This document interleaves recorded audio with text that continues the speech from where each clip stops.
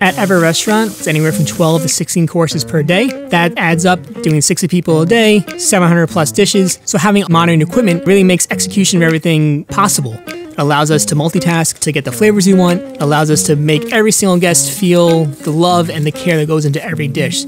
So for this canapé, I'm using the Control Freak and the probe to fry the salsify at 345 degrees. That way, I know that the oil is at a consistent temperature all the time. I don't have to worry about the salsify burning at all. And we actually found out at that temperature that it caramelizes sugar just enough and the starch is to where you want it to be. At the restaurant, we don't have any large fryers. We do everything in small batch frying, and we use the Control Freak to make sure that we get the best product every single time.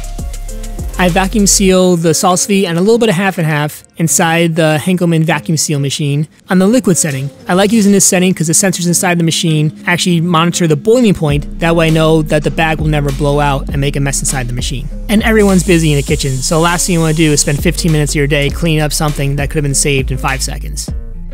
I cook the salsify puree sous vide inside the Rational because I feel it's a great time saver and also a great space saver. Okay, I have one bag I want to do.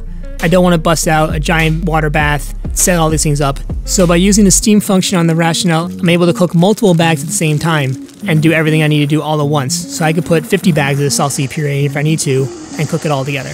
This gives me the flexibility to do multiple things at once and multitask and know that the puree is going to be fine inside the oven.